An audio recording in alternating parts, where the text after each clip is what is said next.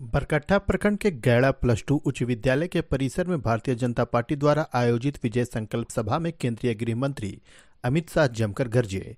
चुनावी सभा को संबोधित करने पहुँचे केंद्रीय गृह मंत्री अमित शाह को पुष्पगुच्छ व अंग वस्त्र देकर कार्यकारी प्रदेश अध्यक्ष रविन्द्र राय ने स्वागत किया।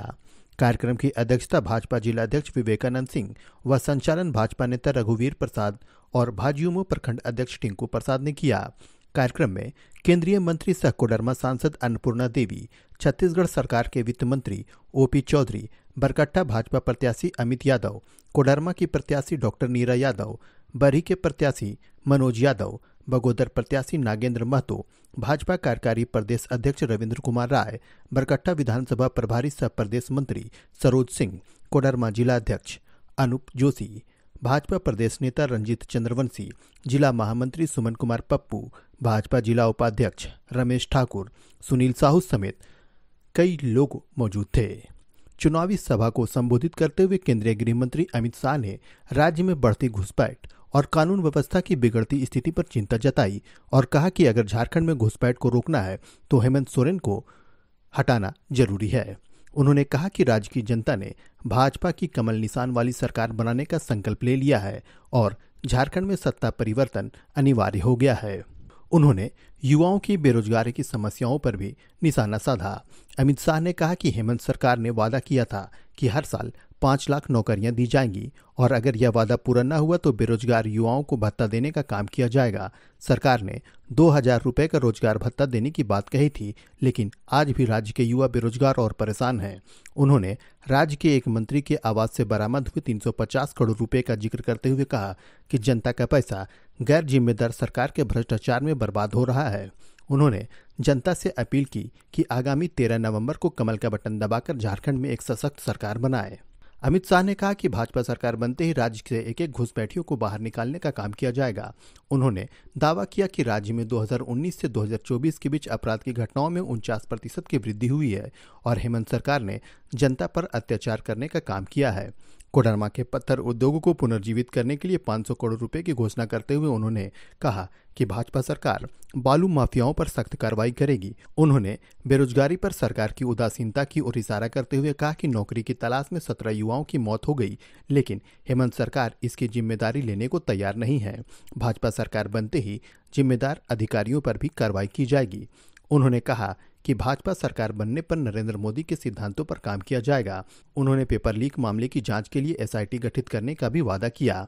उन्होंने हेमंत सरकार पर निशाना साधते हुए कहा कि कश्मीर से अनुच्छेद 370 हटाने के मुद्दे पर कांग्रेस के समर्थन में उतर आई थी, जबकि प्रधानमंत्री नरेंद्र मोदी ने इस अनुच्छेद समाप्त कर ऐतिहासिक कार्य किया है। उन्होंने अयोध्या में श्री राम मंदिर के निर्माण का भी ज़िक्र करते हुए कहा कि भगवान श्री राम ने अयोध्या में अपने मंदिर में पहली बार दीपावली मनाई। गृह मंत्री अमित शाह ने सभा में उपस्थित जनता से अपील करते हुए कहा कि आगामी विधानसभा चुनाव में कमल के निशान पर वोट देकर राज्य में एक सशक्त, ईमानदार और विकासशील सरकार को लाने में अपनी भूमिका निभाएँ।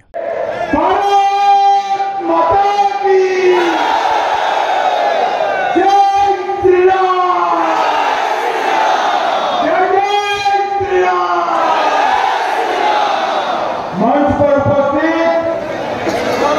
हमारे प्रदेश अध्यक्ष श्रीमान रविंद्र राय जी,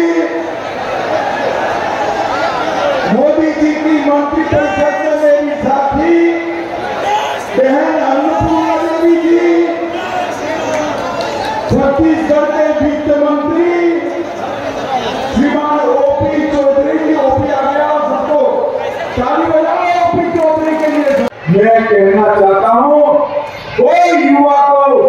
केरल, बेंगलोर, हरियाणा, महाराष्ट्र जाने की ज़रूरत नहीं है।